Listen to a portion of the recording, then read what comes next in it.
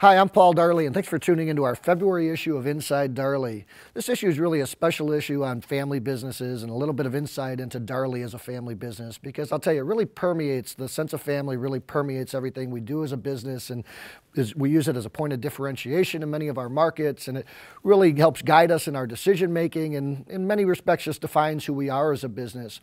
And every year we have an annual family meeting where all of the stockholders and the next generations get together, and we've been doing this for over 10 years we got together just last month with our family council. It's led by Stephen Darley. Stephen's our uh, chairman of the family council. He's the oldest member of the third generation. He does a spectacular job leading these meetings. And really the purpose of the meetings is to make sure that we're educating the family, both our generation and the next generation on the, on the business, making sure that we're promoting harmony throughout the business, making sure that everybody knows the rules for coming into the business or while you're in the business, operating in the business, and really ensuring that we're perpetuating this company as a family business.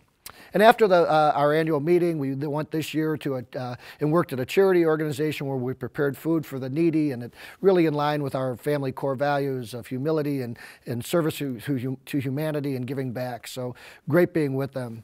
I'll tell you, the first article that we've attached here for you is a, uh, is a quick blog out of Chief Executive Magazine's newsletter. And I would encourage you to go to chiefexecutive.net and sign up for their newsletters and their magazine. It's an incredible magazine. But they, th this article talks about five keys to creating a successful uh, family business and, and so that the family also uh, can perpetuate the business. And number one is making sure that they know what the business is, understanding the role that everyone plays in the business. Number three, keeping lines of communication open. Number four, making sure that they get out and visit other businesses. And number five, making sure that they have balance in their lives. You can't be all work or all play. You've got to have a balance.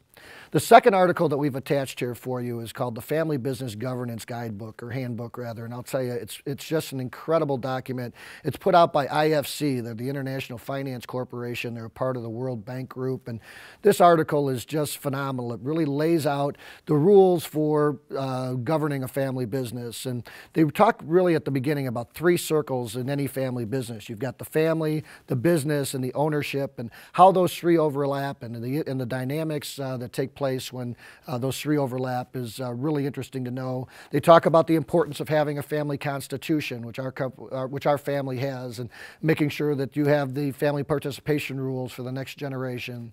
And one of the last things that they really talk about is the importance of, an, uh, of a strong outside board of directors, which our company has. And I'll tell you, we are really excited to bring in Garry Briese onto our board, who's just joined our board of directors. Garry's been a friend of our family for over 30 years. He recently retired as the FEMA director for uh, Region 8. He served as the executive director of the International Association of Fire Chiefs for over 22 years. He's one of the world's renowned uh, experts in uh, weapons of mass destruction and homeland security. So we're really excited to have uh, Garry on our board. And welcoming him on are three other just outstanding outside board members. Uh, General Peter Schoomaker, who recently retired from the U.S. Army as the Chief of Staff. We have Steven Rogers, who is uh, one of the highest respected professors professors in all of uh, uh, the business schools these days. He's a professor at Harvard Business School now.